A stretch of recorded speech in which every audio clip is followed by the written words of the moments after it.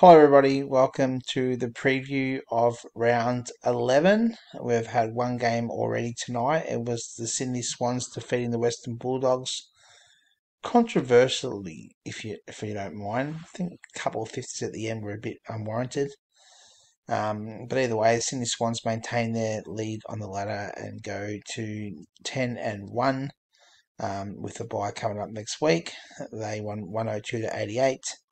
Um, Chad Warner kicked four goals. It was the star of the show. Gulden played well.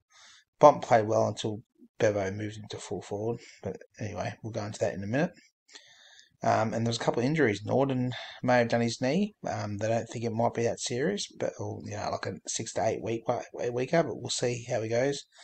Richards got out uh, concussed, so those affected a couple of results today. Um, but we'll start with a preview of uh, this week's round.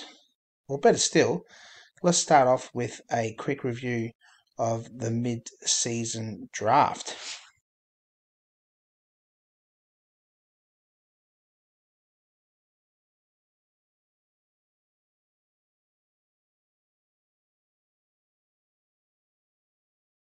Alright, so the draft took place throughout the week. Uh, all drops and stuff have been done now.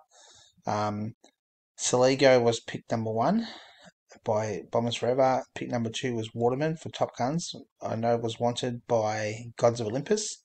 Be interested to see how Waterman goes once Oscar Allen is back.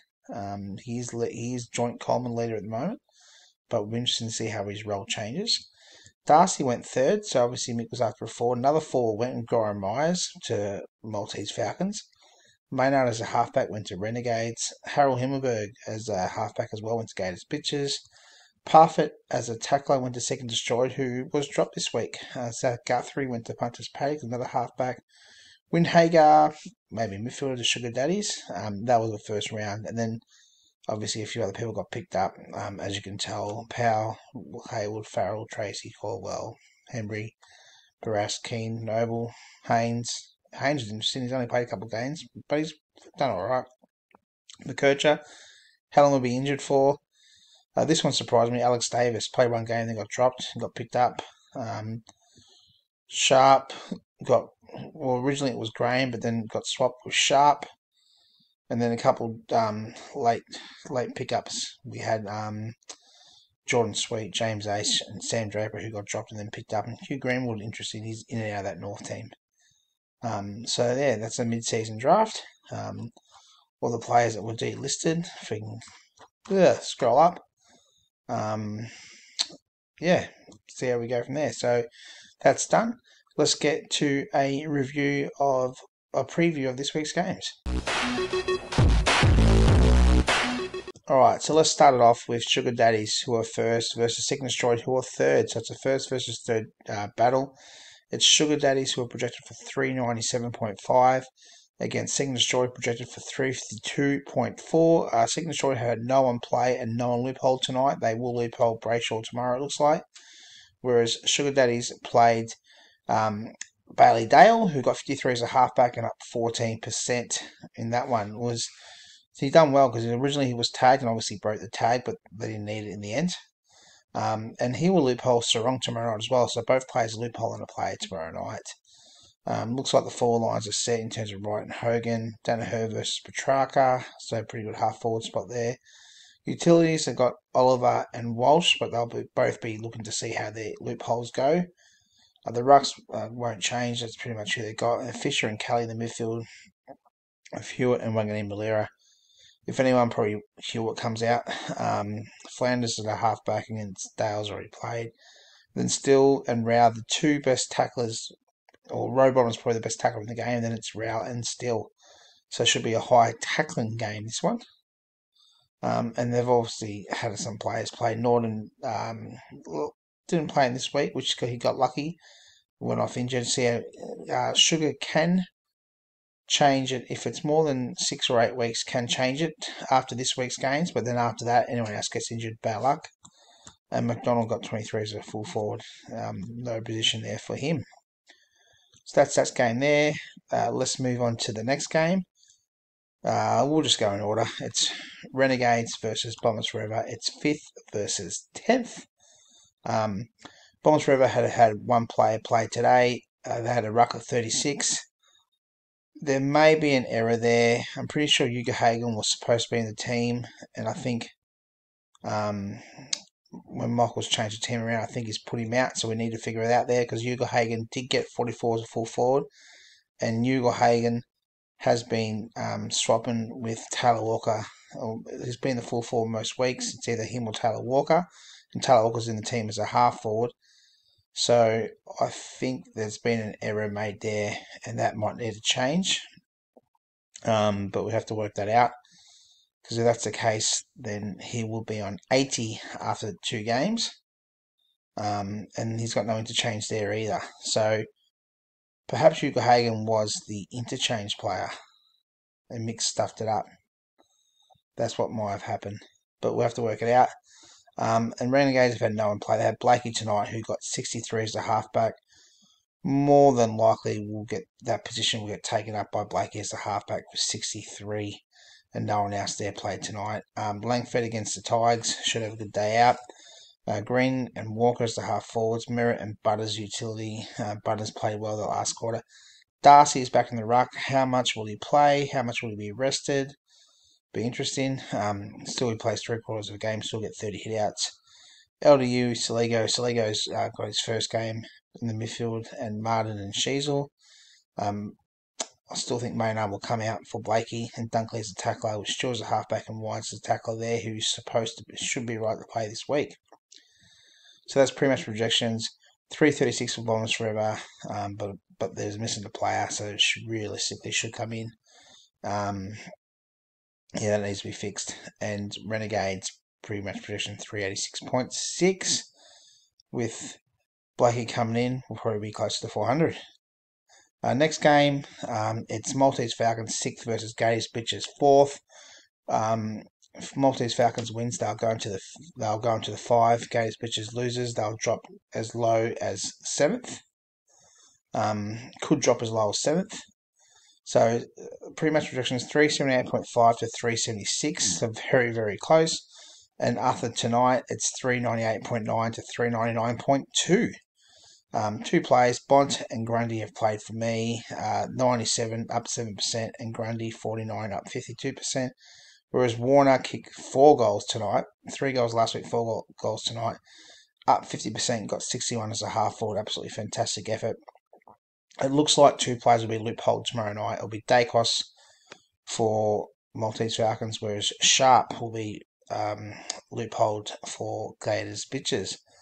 Other than that, it's two Carlton forwards, McKay and Curnow. Um, Miller is a utility at the moment. He may come out for Daicos and probably go to the tackling position. Although Cripps has Crisp has been very good as a tackler lately, um, so he'll stay as tackler because he can't be loopholed. So Chris will stay as tackler there. Um, Mayer's a halfback and Andrews a halfback. Nash is a tackler. The full the midfielders are Crisp, Holmes, Green, and Zorko, and Meek who has been on fire in the ruck, averaging 38.2, um, will be the ruck for Maltese Falcons. So it's projected to be a close one, and I think it will be a close one. So move to the next game. It's Punters Paddock, second on the ladder, versus Ring Anonymous, who are eighth. Um, pretty much projections 389.8 to 390.1. And after tonight, um, it looks like Punters Paddock have dropped 1%. They're down 389.1 now um, compared to Rangers Anonymous, who have dropped by two points to 388.5. So still should be close. Um, Treloar was down 1%, 59, and Rowbottom was down 3% to 45 as a tackler. Still pretty good as a tackler, mind you. And still pretty good as a midfielder as well, so let's be honest. Um, Fritsch and Cameron as the full forwards. Uh, his loophole, sorry, loophole tonight. Richards went out and concussed and had played half a game, got 36 midfield, so be, could have got anything uh, if he didn't get injured. Um, and over here, Adams played, didn't do too much, and McRae played, didn't do too much. So Fritsch and Cameron is the full forwards, and uh, Jeremy Cameron is the half forward who's back, and Rosie who's back. So both those players back from injury. Um, I'm not sure why Taranto's there. I is Taranto back? Mick still got him down as injured. And if I look at the teams, if I look at the Richmond team, real quickly on my phone, the teams. Uh, no, doesn't look like Taranto's back. So I'm not sure, but he's obviously loophole in Saturday 4:35. Loophole in Coniglio. It'll be pretty close, tough loophole there. wonder if there's anyone else that could be loophole. Because that's uh, running in time there. And Kenner's not going to be looking at his team to change it if he needs to. But he hasn't really got anyone else. Can loop. Can loophole Darcy Moore, but there's not much else for him to do. Anyway, um, Dawson as the other utility against West Coast. Gawn and O'Brien in the rucks, averaging the same. They are. Sinclair and Neale in, in the midfields, averaging the same. Newman averaging 48, although he has been getting 60 lately against Boston, who's averaging 53, and Atkins as a tackler, averaging 37. Um, there, so that's that team there. Could be a couple of changes with those ones. Um, Canelli, as I said, Canelio is the loophole player for that team there, so Kennel need to be on it to make that change if required. Um, yeah, on Saturday. So let's go to the last game. It's Top Guns versus Gods Olympus. It's ninth versus seventh. It's a two two uh, teams that were were were bitching with each other, or one person was bitching around the draft. And that play that mainly caused the issues was Jake Waterman, who was full forward against Adelaide, averaging forty three point four. Um, so he's at full forward against Stringer. Um, so both players who picked up in the draft, Stringer against Richmond and, and Waterman. Uh, Heaney was down 28% tonight. Um, he got 30, where Gordon was down 5%, got 43. Quickly, actually. Pre-match projections for Top Guns, 428.1. I feel that's not right. Um, surely, you know, Waterman doesn't make that much of a difference to his team, but pre-match projection, 428.1 to 387.1. And after tonight's pre-match projections, 416.5 to 384. So both players just a little bit down. Um, on that one. So both half forwards, 30 and 43. The utility is Anderson, 87.2, and Marshall, got 149 last week.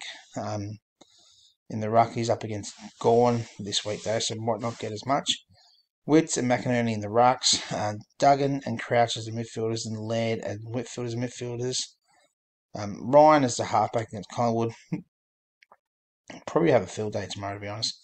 And Sicily is back, and he'll be the half forward, half back um, on Sunday with Drew and Yo, who's also back from injury as the tacklers. Michael will be loopholing Clark tomorrow night, while Top Guns will be loopholing Pendlebury. Um, who's played? Well, Darcy played, didn't do too much. And over here, Hayward, 24 is a half forward. Lloyd, not too bad, not really that great. And Papley, 36 and a half forward.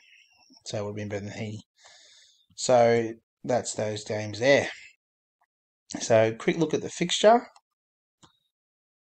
Um, tomorrow night it's Wally Up versus uh, Collingwood. Then it's North versus well, I Port Adelaide. Um, Carlton versus the Gold Coast on Saturday. So both those games are Saturday 145. Then the Cats versus the Giants at 4:35 on Saturday, and then it's the one game on the Saturday. It's the Tigers versus the Bombers. Um, however, most people's attention will probably be at the A League for Melbourne Victory Grand Final. Uh, then Sunday at 110, it's the Hawks versus the Lions. Sunday also um, at th- Sunday 320 is Demons versus Saints, and then the twilight game is Crows versus Eagles. I believe the weather should be alright for all those games. So that'll be it for the preview. Um, good luck to everyone. Hope everyone has a great game. Hope everyone has high scores. Hope everyone wins.